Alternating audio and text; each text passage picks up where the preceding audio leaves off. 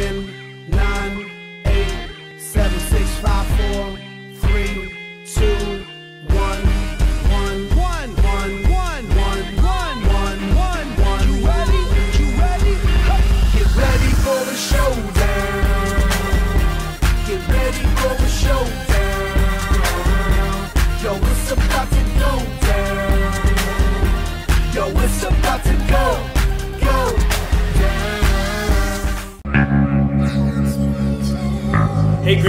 interested in trying out for the boys uh, soccer team? Make sure you come by my room at lunch and register for tryouts. It's very important. Thanks, Grizzlies. Girls volleyball is having their playoff games tonight at Valhalla High School at 7 p.m. So go there, support your fellow Grizzlies, and here is Mr. D with some fall play information. Hi everyone, I'm Mr. D, the theater teacher here at Mission Hills, and I wanted to let you know about our upcoming play.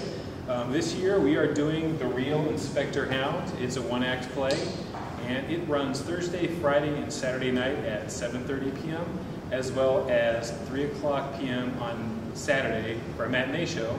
Tickets are $8 for adults, $6 for students, 5 if you have an ASB sticker, and as always, staff members are free. Um, thank you very much, and hope to see you at the show.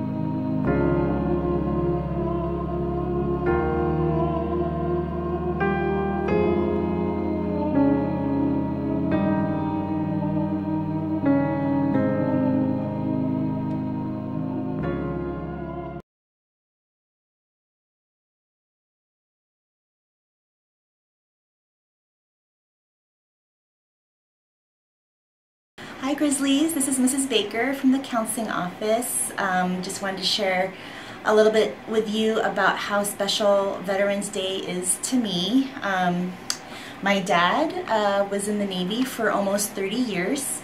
He served uh, two tours in Vietnam and he was in Desert Storm as well.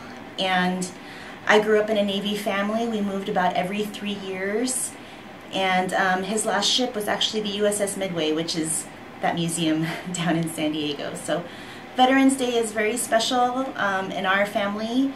Um, my nephew is a Marine right now, and he's getting ready to be stationed in uh, Okinawa. So Veterans Day is, yes, it's a day off, but it's also a time to really remember all the veterans out there who have served in all the different branches and their families.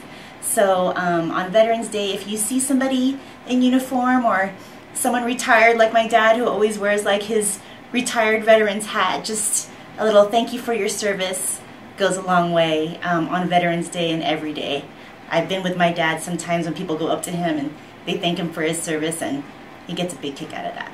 So thank you Grizzlies. Happy Veterans Day.